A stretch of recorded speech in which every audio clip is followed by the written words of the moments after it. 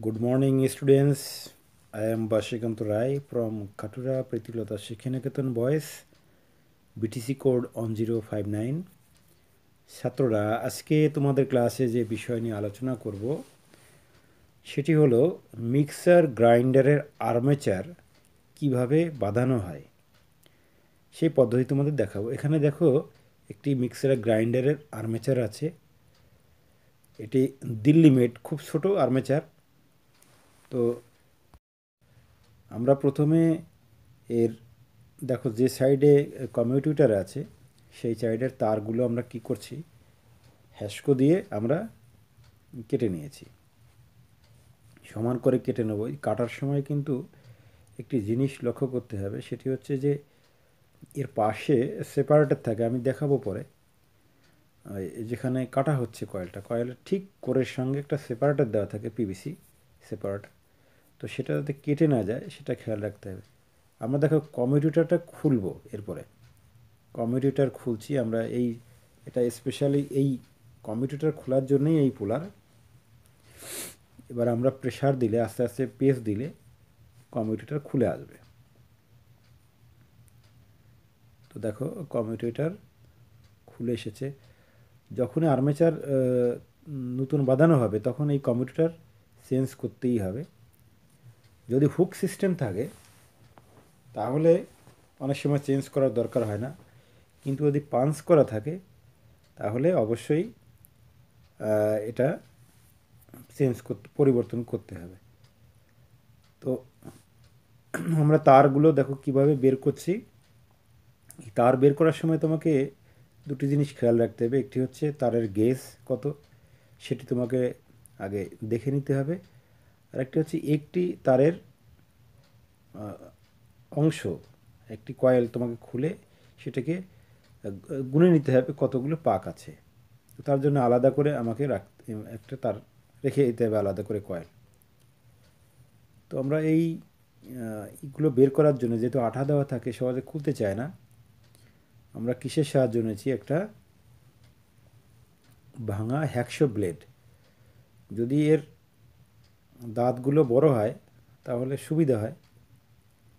তো দেখো, আমরা পরিষ্কার করে নিই। এই যে তোমাদের বলছিলাম সেপারেটার পিভিসি সেপারেটার দুপাশে রয়েছে, দেখো, কালো। এই পিভিসি সেপারেটার অনেক তার কাট থেকে কেটে যায়। খেয়াল রাখতে হবে। আমরা একটু গুনে নেব যে কতগুলো স্লট আছে।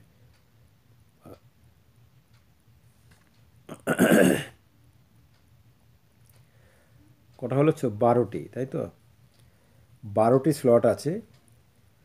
তো আমরা আগে আমরা কম্পিউটারটি লাগিয়ে নেব। এই এই কম্পিউটার কিন্তু আছে চব্বিশ সেগমেন্টের, চব্বিশ ঘাট আছে আর আর্মেচারে রয়েছে বারোটি স্লট। আমরা দেখো কীভাবে লাগাচ্ছি, এগুলো ভালো করে খেয়াল রাখবে। একটি স্টিলের পাইপের সাহায্যে আস্তে আস্তে আমি প্রেশার দিয়ে এটাকে ঢুকে নিলাম। এবার আমরা একটা ফিল্ম পেপার, এটা পাঁচ নম্বরের ফিল্ম পেপার, যেহেতু আর্মেচার ছোট পাঁচ নম্বর ফিল্ম পেপার এভাবে লম্বা করে আমরা কেটে নিয়েছি এবং পরপর পরপর এভাবে সাজিয়ে নিয়েছি। আমরা তার নিয়েছি, তা কত? বত্রিশ নাম্বার। এই বত্রিশ নাম্বার তার ছিল। আমরা নিয়েছি মানে বত্রিশ নাম্বারের তার কিন্তু এতে ছিল। তুমি এই এই গেস কখনো চেঞ্জ করতে পারবে না। যা থাকবে তাই করতে হবে। আমরা শুরু করব কোথায়? ঠিক যেখান থেকে শুরু করব, যে স্লট থেকে ওয়াইন্ডিং শুরু করব। এখানে কমিউটিটারে কিন্তু সেই সোজাসুজি খাজ আমি নেব। তার ওই সোজাসুজি খারে, খাজেই আমাকে আটকাতে হবে। এবার আমরা এখানে এভাবে যে পাক আছে, দেখো, সব আর্মেচারের যে সমান পাক থাকবে, এমন নয়। এক একটি আর্মেচারের ক্ষেত্রে এক এক রকম পাক থাকবে। যত পাক থাকবে তোমাকে এইভাবে তত পাকই কিন্তু দিতে হবে। এবং যেহেতু এর পরের এখানে দেখানো হলো যে পরের যে ইয়ে আছে, ওখানে। আচ্ছা এক্ষেত্রে তোমাকে কিন্তু একটু মনে রাখতে হবে যে তারের যে ইনসুলেশন থাকে, যখন তুমি তারটিকে এখানে আটকাবে, তখন কিন্তু ইনসুলেশনটাকে সুন্দর করে তুলে নেবে। তারপর এখানে প্রত্যেকটি সে, দেখো সেগমেন্টের মাঝখানে কাটা মতো আছে, খাজ মতো করা আছে, এর মধ্যে তারটিকে ঢুকে আমি এই টুলসের সাহায্যে পাঞ্চ করে দেব। পিঞ্চিং টুলস এর সাহায্যে পাঞ্চ করে দেওয়া যাবে। অথবা এইখানেই বলছিলাম আমি যে এই পাঞ্চ করা যায়, অনেক সময় দেখা যাচ্ছে গাড়ির ক্ষেত্রে ঝালাই করা হয়, আবার এই মিক্সার গ্রাইন্ডারের ক্ষেত্রে বা যেগুলি তোমার দেয়াল সিদ্ধর কাজে ব্যবহার করা হয়, ড্রিল মেশিনের ক্ষেত্রে, অনেক সময় দেখা যায় এই হুক থাকে, হুক সিস্টেম থাকে। তারটিকে, এই কয়েলের তারটিকে হুকের সঙ্গে আটকে দিলেই হয়ে যায়। একটা সুবিধা আছে।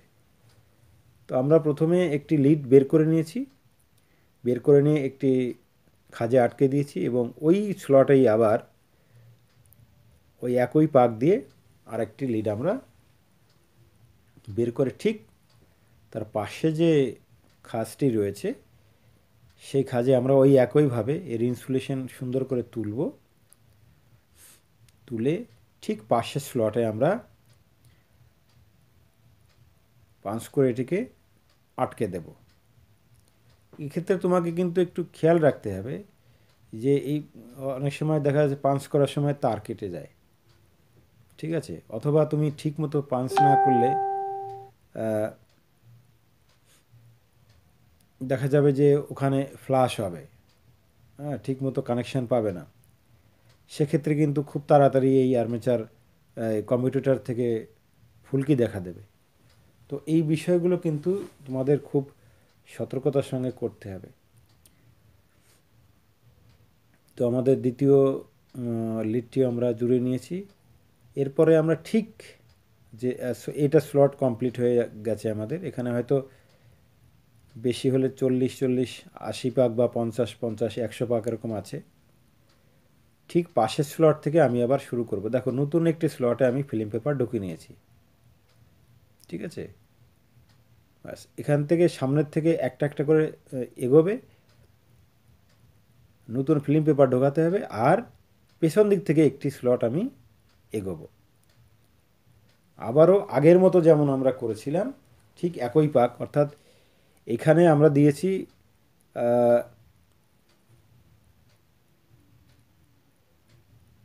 যে পাক দিয়েছি, দেখো, আমরা পুরোপুরি একটা সেম যেভাবে তোমাদের বলেছি আমি, ঠিক তোমরা এইভাবে করবে এবং পুরো আর্মেচারটি কিন্তু আমার বাঁধানো হয়ে গেছে। এবং দেখো, আগে যেখানে আমরা প্রথম লিডটি ছিল ঠিক তার পাশে এসে পরের লিডটি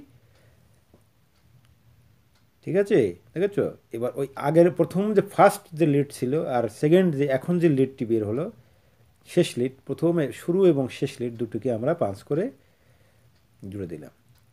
এবার আমরা এই ফিল্ম পেপারগুলো কাঁচি দিয়ে কেটে নেব ঠিক এইভাবে।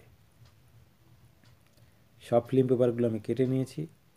এবার এইভাবে তুমি টুইজারের সাহায্যে ফিল্ম পেপারগুলোকে ঢুকিয়ে দেবে কোরের মধ্যে এবং লক করে দেবে। এই দেখো, এটা হচ্ছে লক এই লক তুমি, আমি এটা ফাইবার শিট কেটে নিয়েছি। এটা অন্য অন্য কোনো লকও তুমি ব্যবহার করতে পারো। তো দেখো কমপ্লিট আমাদের আর্মেচার বাঁধানো কমপ্লিট হয়েছে। এবার আমরা এই আর্মেচারটিকে একটু সুতো জোরে নিয়েছি, দেখো। ঠিক আর্মেচার কম্পিউটারের পাশেই আমরা সুতো জোরে নিয়েছি যাতে শক্তপোক্ত হয়। এবার আমরা এটিকে বার্নিশ করব। তো বার্নিশ করার আগে আমরা এটিকে পঁয়ষট্টি ওয়াটের তাতালের উপর আমি রেখেছি। হিট করা হচ্ছে। একটু হিট হলে কি হয়? বার্নিশ খুব ভালোভাবে ভিতরে প্রবেশ করে এবং সহজে শুকিয়ে যায়।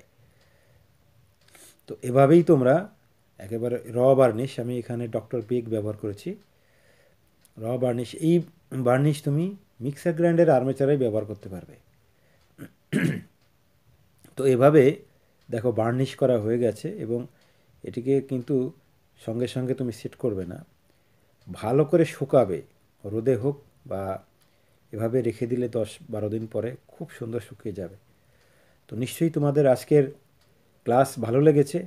আমি আরও তোমাদের মিক্সারের উপর আরও ভিডিও নিয়ে আসব। ভালো থাকবে সবাই, ধন্যবাদ।